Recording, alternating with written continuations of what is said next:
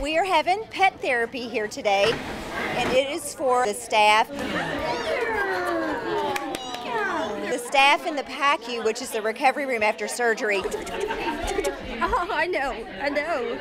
They love to come down here and visit with the animals. He's the sweetest. Last time he came and sat in my lap, so I think we've become friends. it's a good stress reliever. It's a great time when they come. That's all right. That's all right. This is actually just a great socialization for our puppies in training. The organization trains service dogs for people with physical disabilities. They get used to being around a lot of different people in a lot of different situations, and especially in a hospital setting. Puppy. She is so beautiful. We use it as a, a good training and a way to make everybody happy that gets to see the puppies. Oh, the reaction is just joy. Joy, they look forward to it, they're anxious for it. They tell each other that it's Pet Friday. Everybody says, You relieve me, I'll relieve you, and we're going to come and play with the pets. And then they talk about it for the whole next week.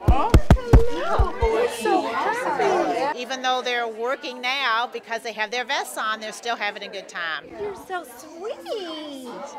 These dogs, uh, they just enjoy being around people. And it has spread like wildfire through the hospital, and everybody looks forward to this day. it just makes them feel good. It makes them feel good to be here and to do the work and to help the patients. This is like the best day ever.